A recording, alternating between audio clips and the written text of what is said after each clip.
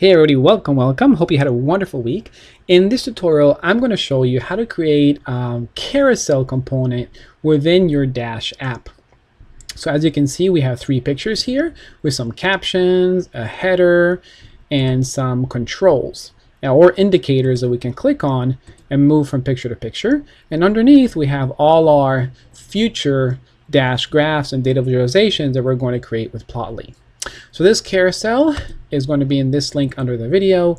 Uh, this is a Dash Bootstrap component. And here, if you scroll through the website, you can see all the different types of arguments and uh, types of carousels that you can build with all the information on the arguments here below. So just check out under the video and you'll see this. And as always, to follow along, go into my Dash components into GitHub. I'm going to, I have a lot of components here, going to the carousel one, and then download the IPython notebook if you're using Jupyter or .py file if you're using um, um, PyCharm or Atom or Visual Studios and, and open it up. I'm going to use Jupyter here, so I just open up the file. And let's do this together. Let's create this carousel together on this video. All right. So the first thing I'm doing is I'm importing, you, you, probably don't need all of this. You don't need input or output or callback, but I just did it by um, um, just to have it in case you want to do a callback later.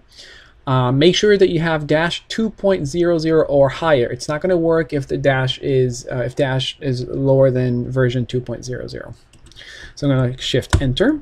And here you can see is just the layout. This DBC container is just a full layout of the Dash app. I have no callback here. You can do carousel with callback, but I'm not doing this with a callback. So we're just going to go over the layout. The first, I have three rows. One, two, three. The first row is going to have our title, as you can see here, the title. The last row is going to have our subtitle and some empty graphs. As you can see, subtitle and empty graphs. And the row in the middle is going to have our carousel, dbc.carousel. So you have to you make sure you, you have dbc or dash bootstrap components installed into your, your computer or your virtual environment because you need um, dbc for this app. All right. So these are the, the three rows. So let's focus on the DBC carousel, all of this. Oh, just a, a, quick note, make sure that you have a theme. I'm using Solar Theme. If you don't want the Solar Theme and you want a different one, you can go into the website here, go into Themes, and you can see all the different themes available. Um, but make sure you have a theme because with, without a theme in the external style sheets, this is not going to work.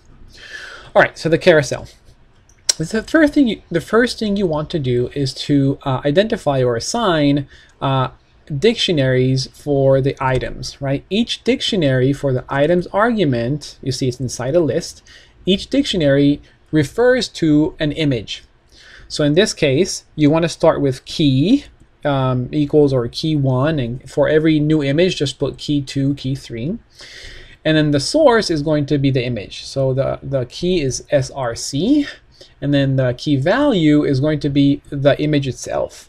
But you have to put the path of the image. So my image is inside the assets folder. You see here?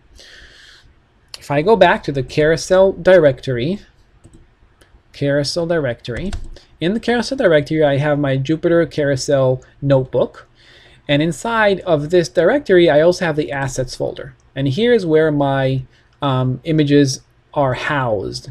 So make sure that you, um, that's why the, that's why we put forward slash assets forward slash Chapulin 1, Chapulin 2, and Chapulin 3, because this is where every image is located.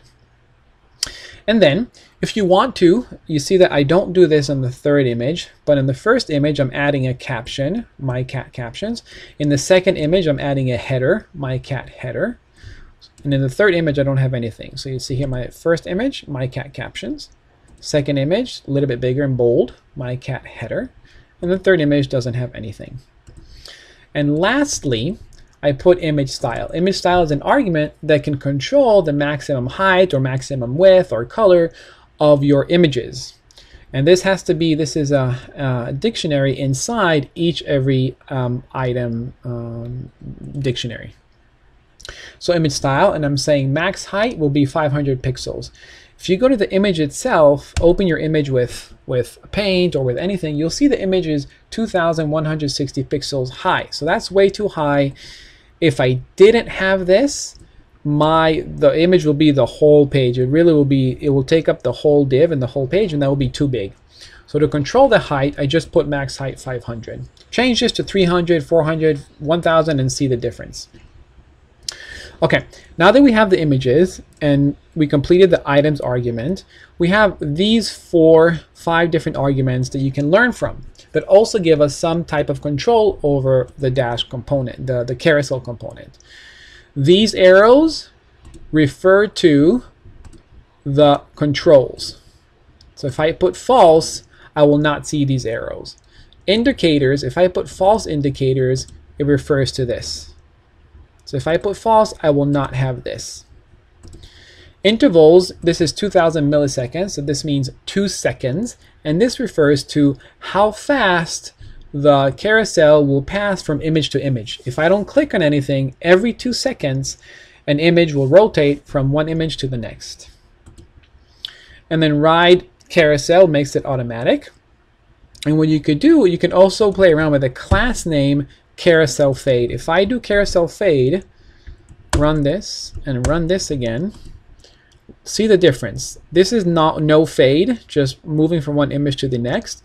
And if I do carousel fade, let's see what happens. It fades away instead of changing from left to right, it just fades into the next image. See? So that's kind of cool. So there are a few more a few more arguments if you want to look at them. Uh, they're here, keyword arguments for carousel. Look at them, um, see what you uh, what you want to use and how you can change things. But this is this is pretty much it for the carousel. I really really like it. It's a great component. Um, it's a component that um, was built together by, by, by Tom and by, by Anne and uh, two good, uh, well, at least Anne is a good colleague of mine. Tom, I just know because he's, uh, he's just very, he's the creator of Dash Bootstrap. Um, very, very powerful. Um, and I hope you can incorporate this into your own Dash, uh, Dash apps as well. As always, uh, always remember we're better together, so help each other out and never give up, keep practicing. I hope to see you next week. Bye bye.